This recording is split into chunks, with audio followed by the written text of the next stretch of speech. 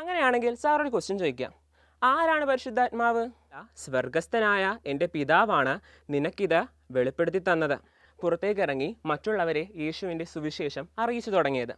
ഒരു ജനവിഭാഗത്തെയാണ് നമ്മൾ സഭാ ശുശ്രൂഷകർ എന്ന് പറയുന്നത്. സ-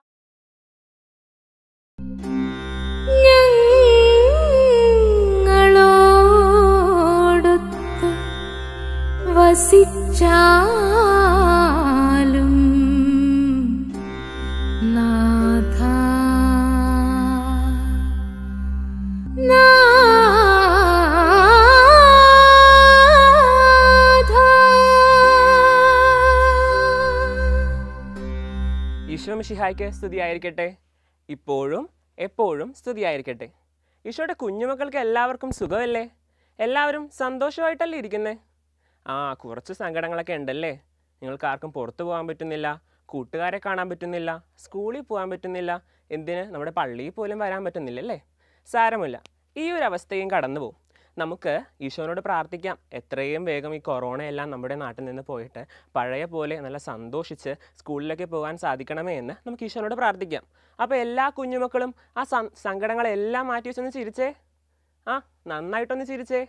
നിങ്ങൾ ചിരിക്കുമ്പോൾ നിങ്ങളെ കാണാൻ മാലാകന്മാരെ പോലെയാ. നല്ല ചിറകൊക്കെയുള്ള നല്ല മാലാകന്മാരെ പോലെയാ നിങ്ങളെ കാണുവാനായിട്ട്.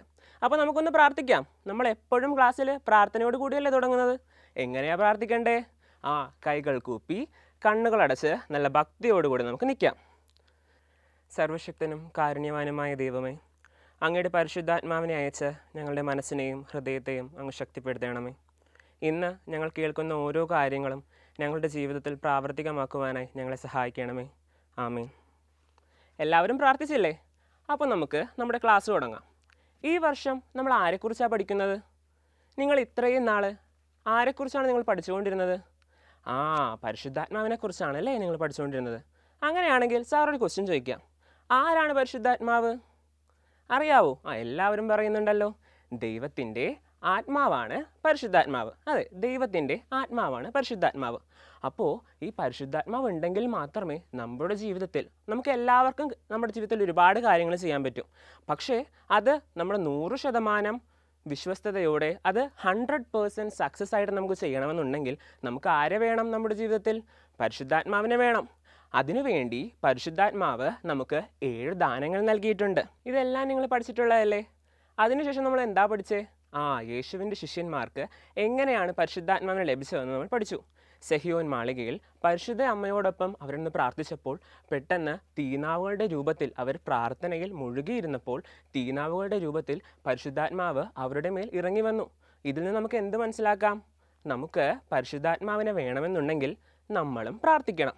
അങ്ങനെ അവിടെ നിന്ന് ലഭിച്ച ആ ഒരു ശക്തി ഉപയോഗിച്ചായിരുന്നു പിന്നീട് യേശുവിന്റെ ശിഷ്യന്മാർ അതായത് യേശുവിന്റെ ശിഷ്യന്മാർ പുറത്തേക്ക് ഇറങ്ങി മറ്റുള്ളവരെ യേശുവിന്റെ സുവിശേഷം അറിയിച്ചു തുടങ്ങിയത്. അങ്ങനെ ഒരുപാട് പേർ യേശുവിന്റെ ശിഷ്യന്മാർ പറയുന്നത് അനുസരിക്കുകയും അവരുടെ വാക്കുകൾ കേൾക്കുകയും ചെയ്തതിന്റെ ഫലമായി ഒരുപാട് പേർ യേശുവിൽ വിശ്വസിച്ചു. അങ്ങനെ അവിടെ ഒരു സമൂഹം രൂപപ്പെട്ടു. സമൂഹം എന്ന് പറഞ്ഞാൽ എന്താണെന്ന് നിങ്ങൾക്കറിയാമല്ലോ? ആ ഒരു ചെറിയ കൂട്ടായ്മ രൂപപ്പെട്ടു. അങ്ങനെ അവരെല്ലാവരും ഒരുമിച്ചിരുന്ന് പ്രാർത്ഥിച്ചു ഭക്ഷണം കഴിച്ചു. തങ്ങൾക്കുള്ളതെല്ലാം ഒന്നാണെന്ന് അവർ കണ്ടു. അതായത് ബൈബിളിൽ അപ്പോസ്തലന്മാരുടെ പുസ്തകത്തിൽ നമ്മൾ കാണുന്നുണ്ട്. പത്രോസിന്റെ പ്രസംഗത്തിനു ശേഷം മൂവായിരത്തോളം പേരാണ് യേശുവിൽ വിശ്വസിച്ചുകൊണ്ട് ജ്ഞാനസ്നാനം സ്വീകരിച്ചത്. അങ്ങനെ അവർ വലിയൊരു സമൂഹമായി മാറി. ഇതിനെയാണ് നമ്മൾ ആദിമ ക്രൈസ്തവ സമൂഹം എന്ന് വിളിക്കുന്നത്. ആദിമ ക്രൈസ്തവ സമൂഹം രൂപപ്പെട്ടതിനു ശേഷം ഇവരെല്ലാവരും യേശുവിൽ അടിയുറച്ച് വിശ്വസിക്കുവാൻ തുടങ്ങി. അങ്ങനെ അപ്പോസ്തലന്മാരുടെ പുറകെ ഒരുപാട് വിശ്വാസികളും അവിടെ ഉണ്ടായി. ഇവരെല്ലാവരും യേശുവിനെ പറ്റി പ്രസംഗിച്ചു. അവർ എപ്പോഴും ഒരുമിച്ചായിരുന്നു. അങ്ങനെയാണ് സഭ സ്നേഹ സമൂഹമായി മാറുന്നത്. അവർ ഒരുമിച്ചിരുന്ന് ഭക്ഷിച്ചു ഒരുമിച്ച് പ്രാർത്ഥിച്ചു അങ്ങനെ ബൈബിൾ വായിച്ചു അങ്ങനെ ഒരുപാട് പ്രവർത്തനങ്ങൾ അങ്ങനെ ചെയ്തു. ഇത്രയും കാര്യങ്ങളാണ് നമ്മൾ ഇതുവരെ പഠിച്ചത്. ഇന്ന് നമ്മൾ എത്രാം പാഠത്തിലേക്കാണ് പോകുന്നതെന്ന് എന്റെ കുഞ്ഞുമക്കൾക്ക് ആർക്കെങ്കിലും ഓർമ്മയുണ്ടോ? ആ മിടുക്കൻ. ഇന്ന് നമ്മൾ അഞ്ചാം പാഠമാണ് പഠിക്കാൻ പോകുന്നത്. അഞ്ചാം പാഠത്തിന്റെ പേരെന്താണ്? എല്ലാവരും ഒന്ന് ഉറക്കെ പറഞ്ഞേ. ആ അഞ്ചാം പാഠത്തിന്റെ പേരാണ് സഭ ശുശ്രൂഷകർ. സഭ എന്താണെന്ന് നമ്മൾ എല്ലാവരും പഠിച്ചല്ലേ? ക്രിസ്തുവിൽ വിശ്വസിക്കുന്നവരുടെ സമൂഹമാണ് സഭ. അപ്പോൾ ശുശ്രൂഷകർ എന്താണെന്ന് നിങ്ങൾക്കറിയാവോ? എന്റെ കുഞ്ഞുമക്കൾക്ക് ആർക്കെങ്കിലും അറിയാവോ ശുശ്രൂഷകർ എന്ന വാക്കിന്റെ അർത്ഥം? സാറ് പറഞ്ഞുതരാം. നിങ്ങളുടെ വീട്ടിൽ ആരൊക്കെയുണ്ട്? ആൻമോളെന്ന് പറഞ്ഞേ. ആ അപ്പച്ചനുണ്ട് അമ്മച്ചിയുണ്ട് ചേട്ടനുണ്ട്. ഒരു കുഞ്ഞുവാവയുണ്ട് അല്ലേ ആ അങ്ങനെ നിങ്ങളുടെ എല്ലാവരുടെയും വീട്ടിൽ ഒരുപാട് പേരുണ്ട്. എന്നാൽ നിങ്ങളെല്ലാവരും നിങ്ങൾക്ക് ഇഷ്ടമുള്ള രീതിയിലാണോ വീട്ടിൽ ചെയ്യുന്നത്? നിങ്ങളുടെ അപ്പച്ചനും അമ്മച്ചിയും പറയുന്നൊന്നും അനുസരിക്കാതെയാണോ? അല്ലല്ലോ നിങ്ങളെല്ലാവരും വളരെ നല്ല മക്കളല്ലേ? ആ നിങ്ങളുടെ അപ്പച്ചൻ രാവിലെ തന്നെ എഴുന്നേറ്റ് ജോലിക്കൊക്കെ പോയിട്ട് നിങ്ങളുടെ കുടുംബം മുന്നോട്ട് കൊണ്ടുപോകാനായിട്ടുള്ള സമ്പാദ്യമൊക്കെ ഉണ്ടാക്കുകയാണ്. നിങ്ങളുടെ അമ്മച്ചി ആവട്ടെ ആ ആൻമോളുടെ അമ്മ ജോലിക്ക് പോകുന്നുണ്ട് അല്ലേ ആൻമോളുടെ അമ്മയും അപ്പച്ചനും ജോലിക്ക് പോകുന്നുണ്ട്. പക്ഷേ ഒരുപാട് കുട്ടികൾ ഒരുപാട് മക്കളുടെയൊക്കെ അമ്മമാർ വീട്ടിൽ തന്നെയാണ് അല്ലേ നിങ്ങളുടെ കാര്യങ്ങളൊക്കെ നോക്കി നിങ്ങൾക്ക് വേണ്ട നല്ല ഭക്ഷണമൊക്കെ ഉണ്ടാക്കി നിങ്ങൾ സ്കൂളിൽ നിന്ന് വരാൻ കാത്തിരിക്കും. അപ്പോൾ സ്കൂളിൽ നിന്ന് വന്നതിന് ശേഷമോ എന്തൊക്കെയാ പഠിപ്പിച്ചേ? തല്ല് കൂടിയോ? മിസ്സിന്റെ നിന്ന് തല്ല് വാങ്ങിച്ചോ? എന്നൊക്കെ ചോദിക്കാറില്ലേ? ആ ചോദിക്കാറുണ്ടല്ലേ? അങ്ങനെ ഒരുപാട് കാര്യങ്ങൾ നമ്മുടെ അമ്മച്ചിയും നോക്കും. അമ്മച്ചിക്കും അപ്പച്ചനും മാത്രമാണോ ഉത്തരവാദിത്തങ്ങളുള്ളത്? നിങ്ങൾക്ക് ഉത്തരവാദിത്വം ഇല്ലേ നിങ്ങൾ എന്തൊക്കെയാ ചെയ്യണ്ടേ?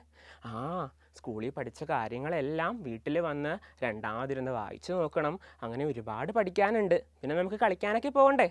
അങ്ങനെ ഒരുപാട് കാര്യങ്ങൾ നിങ്ങൾക്കും ചെയ്യാനുണ്ട്. അപ്പോൾ നിങ്ങൾ നോക്കിക്കേ നിങ്ങളുടെ വീട്ടിൽ എന്തെല്ലാം കാര്യങ്ങളാണ് നടക്കുന്നതെന്ന് ഇതുപോലെ. എന്നാൽ ഇതെല്ലാം ഒരുമിച്ച് പോയാൽ മാത്രമല്ലേ നിങ്ങളുടെ കുടുംബം നന്നായി വരികത്തുള്ളൂ. അതുപോലെ തന്നെയാണ് നമ്മുടെ സഭയെ നയിക്കുവാനായിട്ട് ഉള്ളവരാണ് സഭാ ശുശ്രൂഷകർ.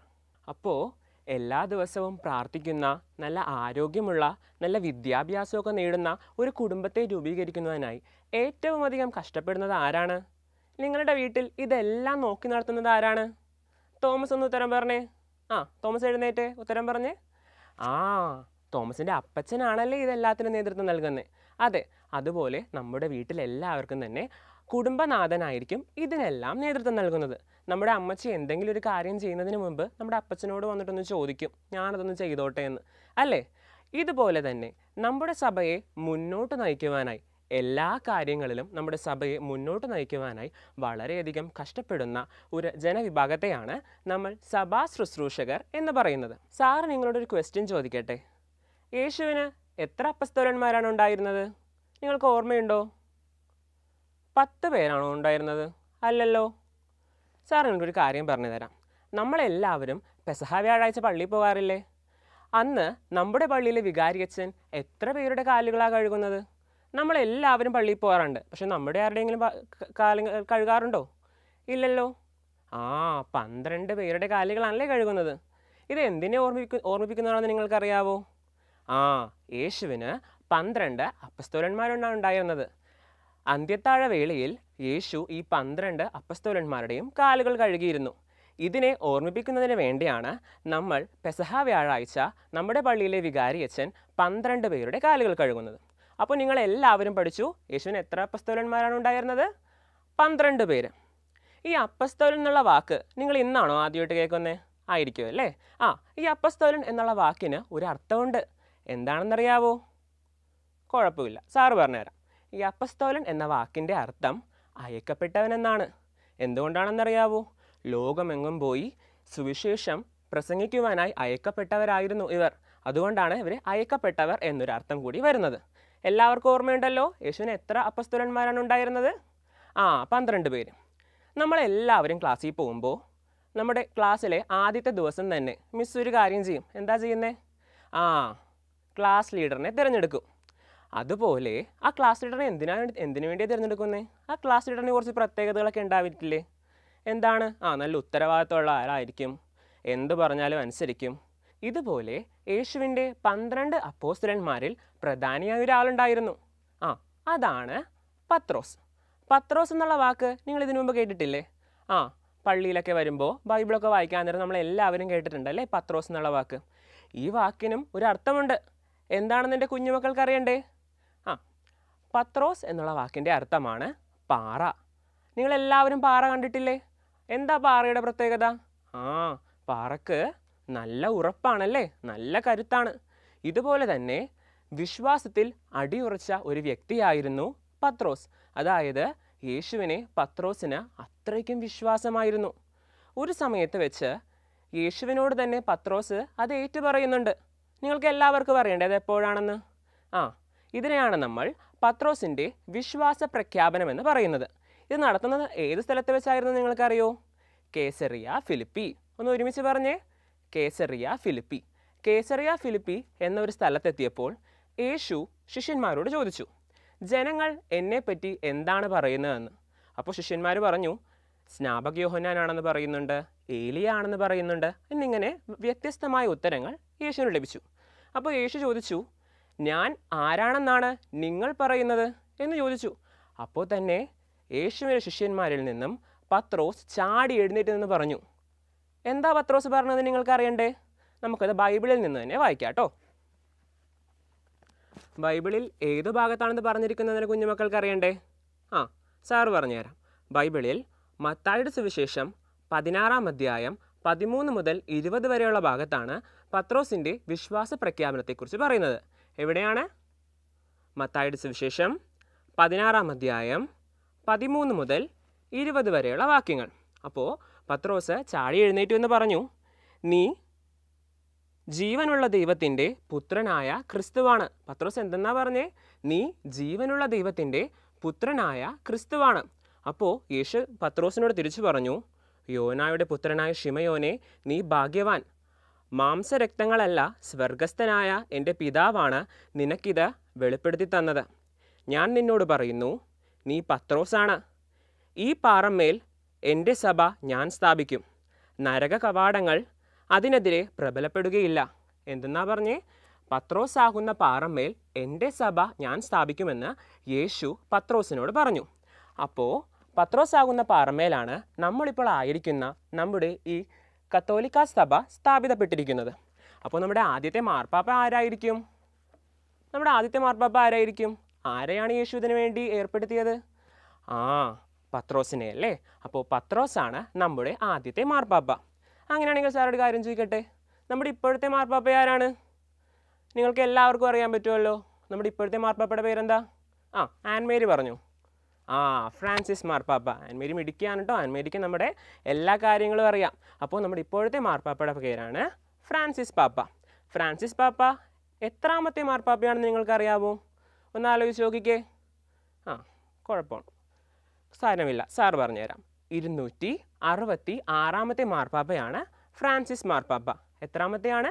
ഇരുന്നൂറ്റി അറുപത്തി ആറാമത്തെ മാർപ്പാപ്പയാണ്. അപ്പോൾ അപ്പോസ്തല പ്രമുഖനായ പത്രോസിന്റെ പിൻഗാമിമാരാണ് മാർപ്പാപ്പമാർ ഇതുപോലെ തന്നെ നമ്മൾ നേരത്തെയും പഠിച്ചു. അപ്പോസ്തലന്മാരുടെ പിൻഗാമിമാരാണ് മെത്രാൻമാർ അപ്പോൾ നമ്മൾ ഇന്ന് എന്തൊക്കെ പഠിച്ചു? യേശുവിന് പന്ത്രണ്ട് അപ്പോസ്തലന്മാരാണ് നമ്മൾ പഠിച്ചല്ലേ? അപ്പോസ്തലൻ എന്ന വാക്കിന്റെ അർത്ഥം എന്തായിരുന്നു? എല്ലാവരും ഒന്ന് ചാടി എഴുന്നേറ്റ് പറഞ്ഞേ. ആ അപ്പോസ്തലൻ എന്ന വാക്കിന്റെ അർത്ഥം അയക്കപ്പെട്ടവനെന്നാണ് അതുപോലെ തന്നെ അപ്പോസ്തല പ്രമുഖനാരായിരുന്നു അപ്പോസ്തലന്മാരിലെ പ്രധാനി ആരായിരുന്നു? പത്രോസ് ആയിരുന്നു അപ്പോസ്തലന്മാരിലെ പ്രധാനി. പത്രോസ് എന്ന വാക്കിന് ഒരു അർത്ഥം ഉണ്ടായിരുന്നല്ലോ. എന്തായിരുന്നത്? ആ പത്രോസ് എന്ന വാക്കിന് പാറ എന്നാണ് അർത്ഥം. എന്തുകൊണ്ടാണ്? ആ പത്രോസിന് പാറ പോലെ ഉറച്ച വിശ്വാസമുണ്ടായിരുന്നു. പത്രോസ് ആയിരുന്നു നമ്മുടെ ആദ്യത്തെ മാർപ്പാപ്പ എന്ന് നമ്മൾ പഠിച്ചു. നമ്മുടെ ഇപ്പോഴത്തെ മാർപ്പാപ്പ ആരാണ്? ആ ഫ്രാൻസിസ് പാപ്പയാണ് നമ്മുടെ ഇപ്പോഴത്തെ പാപ്പ. എത്രാമത്തേതാണ്? എത്രാമത്തെ പാപ്പയാണ് ഫ്രാൻസിസ് പാപ്പ? ഇരുന്നൂറ്റി അറുപത്തി ആറാമത്തെ പാപ്പയാണ്. അപ്പോൾ നമ്മളിന്ന് ഒരുപാട് കാര്യങ്ങൾ പഠിച്ചല്ലേ? സാറ് നിങ്ങൾക്ക് ഇന്ന് ഒരു ആക്ടിവിറ്റി തരുന്നുണ്ട്. എന്താണെന്നറിയാവോ? യേശു തിരഞ്ഞെടുത്ത ആദ്യത്തെ നാല് ശിഷ്യന്മാരുടെ പേരുകൾ നിങ്ങൾ ബൈബിളിൽ നിന്ന് വായിച്ച് കണ്ടുപിടിക്കണം. യേശു തിരഞ്ഞെടുത്ത ആദ്യത്തെ നാല് ശിഷ്യന്മാരുടെ പേരുകൾ. എല്ലാവരും കണ്ടുപിടിക്കുകയില്ലേ? എന്നിട്ട് നിങ്ങളുടെ കാറ്റഗിസം ടീച്ചേഴ്സിന് അത് അയച്ചു കൊടുക്കണം. അപ്പോൾ നമുക്കൊരു പ്രാർത്ഥനയോട് കൂടി ഇന്നത്തെ ക്ലാസ് അവസാനിപ്പിക്കാം. എല്ലാവരും കൈകൾ കൂപ്പി കണ്ണുകളടച്ച് നിന്നേ. കാരുണ്യവാനായ യേശുവേ ഇത്രയും സമയം ഞങ്ങളോട് കൂടെ ആയിരുന്ന അങ്ങയുടെ അനന്തമഹിമയ്ക്ക് ഞങ്ങൾ നന്ദി പറയുന്നു. തുടർന്നും ഇന്ന് ഞങ്ങൾ പഠിച്ച കാര്യങ്ങൾ ഞങ്ങളുടെ ജീവിതത്തിൽ പ്രാവർത്തികമാക്കാനും ഇന്ന് ഞങ്ങൾക്ക് ലഭിച്ച ഈ വിശ്വാസ വെളിച്ചം ഞങ്ങളുടെ ജീവിതത്തെ കൂടുതൽ മുന്നോട്ട് നയിക്കുവാനും ഞങ്ങളെ സഹായിക്കണമേ.